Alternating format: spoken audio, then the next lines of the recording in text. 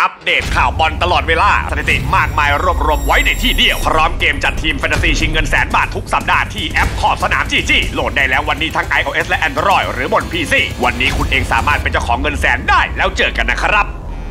ถ้าหากคุณมาถามผมว่าสนามไหนทำให้ผมรู้สึกว่าเป็นเรื่องน่ากลัว เวลาที่ต้องไปเยือนมากที่สุดเดินเหรอ ผมขอยกให้แอนฟิลด์ของลิเวอร์พูลแล้วกันนะครับ นี่เป็นคำพูดของอาร์เยนร็อบเบนอดีตแนวรุกเชลซีที่พูดคำนี้ออกมาแบบไม่ต้องคิดเมื่อถูกถามว่าการไปเยือนสังเวียนไหนน่าหวั่นกลัวมากที่สุดในชีวิตคาแข้งและคำตอบนั้นมันก็คือแอนฟิลด์รังเหย้าของหงแดงลิเวอร์พูลเพราะทุกคนต่างรู้ดีนะครับว่าตลอด 90 นาทีไม่ว่าผลการแข่งขันจะเป็นแบบไหนเดอะค็อปจะตะโกนให้กำลังใจกันทุกวินาทีประหนึ่งว่าพวกเขาเป็นนักรบเบอร์ 12 ที่พร้อมแลกหยาดเหงื่อต่อสู้เคียงบ่าเคียงไหล่กับนักเตะเพียงแต่ไม่ได้ตามลงไปสู้ในสนามด้วยก็เท่านั้น วันที่เครื่องจักรสีแดงกลับมาทำผลงานพังงาดง้ำค้ำโลก comeback สู่เจ้ายุโรปไม่ว่าใครหน้าไหนบุกมาเยือนทีมแอนฟิลด์ไม่กลับไปแบบกระอักเลือดก็ต้องมีบาดแผลทิ้งไว้เห็นเต็มตัว มีอยู่เกมหนึ่งลิเวอร์พูลแทบจะโยนผ้าขาวยอมแพ้ไปแล้วในแมตช์ที่เคยบุกไปแพ้กับบาร์ซ่าแบบย่อยยับศูนย์ประตูต่อสามในศึก UCL รอบรองวันนั้นใครมองผ่านเข้ามาก็เห็นแต่หงแดงกำลังนอนหายใจรวยรินมีเพียงแค่สาวกเดอะคอปและสโมสรยักษ์ใหญ่แห่งแดนเมอร์ซีไซด์เท่านั้นที่เชื่อว่าปาฏิหาริย์มันเกิดขึ้นได้ แม้ไม่ต้องมีปราปิก้า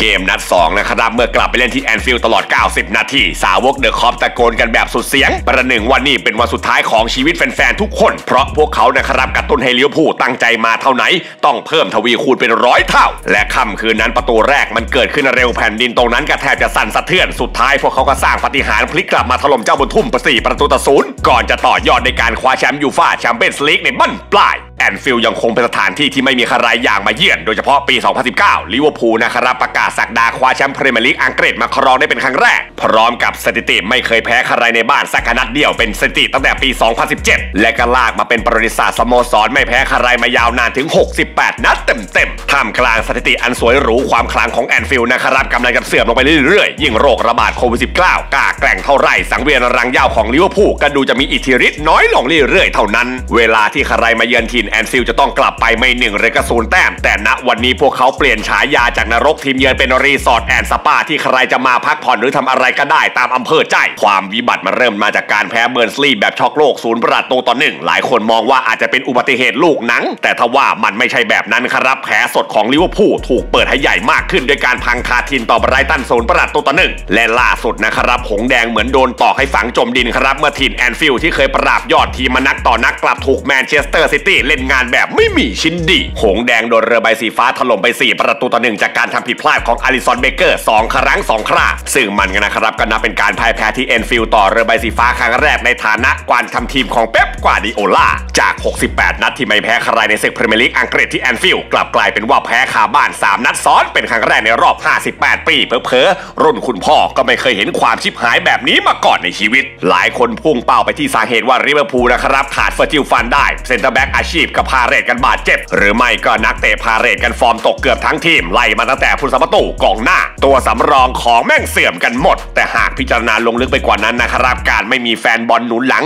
มันส่งผลร้ายแรงกว่าที่คุณคิด หลังจบเกมที่เป๊ปบุกมาชนะที่แอนฟิลด์เป็นครั้งแรกนะครับก็เปิดใจว่าชัยชนะครั้งนี้มันแตกต่างออกไปเพราะนี่คือเวอร์ชันที่ลิเวอร์พูลไม่มีนักเตะคนที่ 12 คอยหนุนหลังแบบเมื่อก่อน สำหรับผมและสนามแอนฟิลด์ที่ไม่มีแฟนบอลในสนามมันแตกต่างไปมากๆนะครับ เราต้องชอกช้ำอยู่เสมอเมื่อต้องบุกมาเยือนสถานที่แห่งนี้ หากเกมนี้มีเดอะคอปเข้ามารับชม ผมจินตนาการได้เลยว่าตอนที่พวกเขาตีเสมอหนึ่งหนึ่งเราคงจะถูกพวกเขากดดันใส่และก็ถูกกลืนกินไปด้วยบรรยากาศที่แฟนบอลพวกเขาอะพยายามสร้างขึ้นมา ผมบอกเลยว่ามันแตกต่างอย่างมากกับความรู้สึกของผู้เล่นอย่างเราอะนะครับผมได้แต่หวังภาวนาว่าเมื่อพวกเรามาเยือนที่แอนฟิลด์อีกครั้งในรอบหน้า เราจะบุกมาเอาชนะให้ได้อีกต่อหน้าแฟนๆของพวกเขาซึ่งแอนฟิลด์เนี่ยผมบอกเลยว่าเป็นสังเวียนที่น่าประทับใจ และผู้คนที่นี่มันมีอะไรมากกว่าแฟนบอลมาเชียร์ทีมบอลเฉยๆ สังเกตไหมครับว่าเป๊ปให้ความเกรงขามแอนฟิลด์มากเพียงใดเพราะปกติแล้วเดอะคอปจะมีส่วนอย่างยิ่งในการสร้างขวัญกำลังใจและก็ส่งเสียงคอยกดดันให้คู่แข่งอกสั่นขวัญแขวน ซึ่งปกติเวลาเรือใบสีฟ้าบุกมาเยือนนะครับ ก็มักจะกลับบ้านไปแบบอิ่มๆ ด้วยการโดนยิง 3 หรือ 4 เม็ดขึ้นไป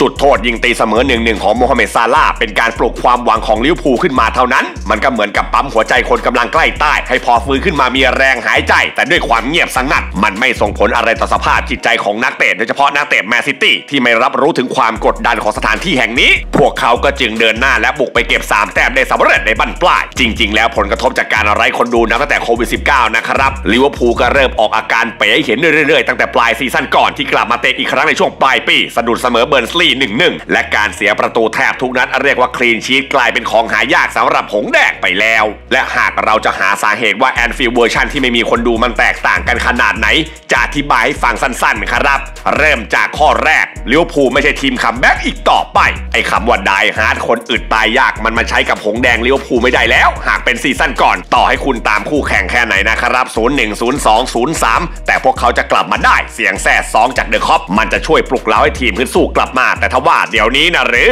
ถ้าโดนยิงนำคุณปิดทีวี แล้วไปรอๆดู live score หลังจบเกมก็ยังได้ เรื่องที่ 2 เพราะว่านักเตะจมอยู่กับความผิดพลาดเทรนต์อเล็กซานเดอร์อาร์โนลด์และโรแบร์โตฟีร์มิโนสองคนนี้นะครับถูกมองว่าฟอร์มหดตดหาย มิสามารถเรียกฟอร์มเก่งกลับมาได้นะครับ ยิ่งเล่นยิ่งผิดพลาด ยิ่งจมปลักไม่มีใครคอยกระตุ้นว่าให้เอาใหม่สู้ใหม่ เพราะบางทีการเรียกชื่อหรือการร้องเพลงให้กับนักเตะ มันก็ช่วยเพิ่มความมั่นใจให้คุณอยู่มากหลายขุม และประเด็นสุดท้ายนั่นคือข่มขวัญคู่แข่งไม่ได้ เมื่อสาวกเดอะคอปเปล่งเสียงเพลง You'll Never Walk Alone เนี่ยนะครับมันไม่ใช่เป็นเพิ่มพลังให้กับนักเตะลิเวอร์พูลเพียงอย่างเดียว แต่มันเป็นการข่มขวัญคู่แข่งให้รู้สึกขาสั่นขวัญแขวนเวลาลิเวอร์พูลนำเสียงมันจะกระหึ่มมากกว่าเดิม แต่ถ้าโดนนำเสียงจะปลุกเร้ามากกว่าเดิม 2 เท่า แต่เมื่อสิ่งเหล่านั้นหายไปนะครับ ก็มันก็ไม่อาจข่มขวัญคู่แข่งได้อีก สุดท้ายแล้วฟุตบอลแมตช์ใหญ่ๆ มันไม่ใช่กีฬาที่แข่งขันกันเพียงแค่ 11 คนหรอกครับ แต่มันมีความหมายเหมือนกับครอบครัว ทุกคนต่างมีหน้าที่ support กันและกันขาดใครไปสักคนหนึ่ง มันก็ย่อมส่งผล เหมือนที่ลิเวอร์พูลกำลังขาดสาวกเดอะคอปซึ่งเปรียบเสมือนผู้เล่นคนที่ 12 และสิ่งนั้นแหละครับผมทำให้แอนฟิลด์ตอนอนนี้กำลังเสื่อมมนต์ขลังลงไปเรื่อยๆเ